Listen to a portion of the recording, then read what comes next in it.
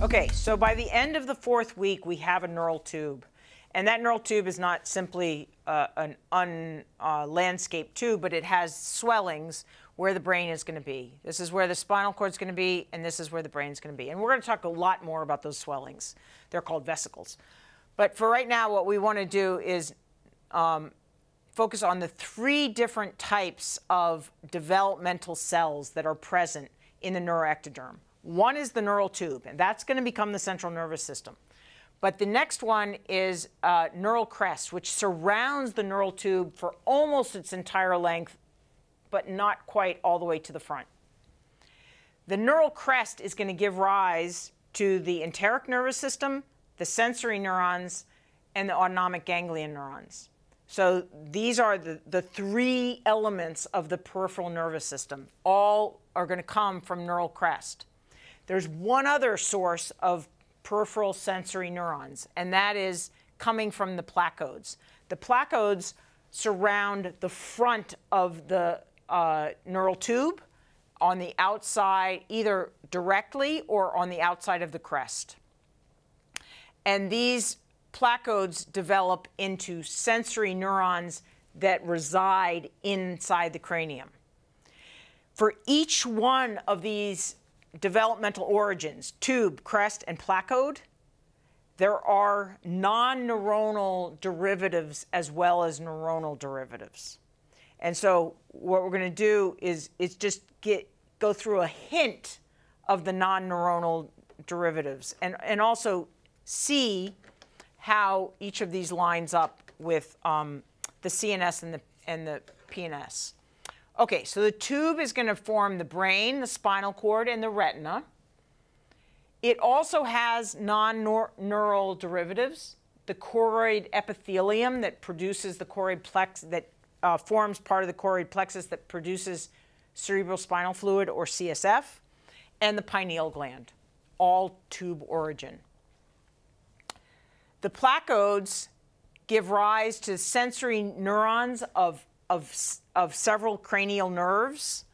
Um, it also gives rise to the lens and to the anterior pituitary. These are non-neural uh, types of cells. And in one of the most spectacular um, stories that we're going to look at a little bit when we talk about cranial nerves, these, the placode also gives rise to um, a group of cells that lives in the hypothalamus. And these cells are going to migrate across the olfactory uh, nerves to get into the into the central nervous system. And these are the only cells in the central nervous system that uh, uh, that don't come from the neural tube origin. I left the crest for last. It does not give rise to any cell types that are going to populate the central nervous system. It does give rise to the uh, almost the entirety, with a few exceptions, of the peripheral nervous system. But the really spectacular thing about the neural crest is it also gives rise to a lot of non-neural tissues, a lot. So well, I'll just name a few of them. The melanocytes that are in the skin, um, the arachnoid, the pia, the middle ear ossicles, the hair cells of the, of the um, inner ear that allow us to detect uh, both head position and motion and also uh, auditory sounds. Um, the uh, it, it, another really really important um, descendant from the crest is the organizing um, uh, cells that organize the uh, cartilage, muscle, and bone of the face.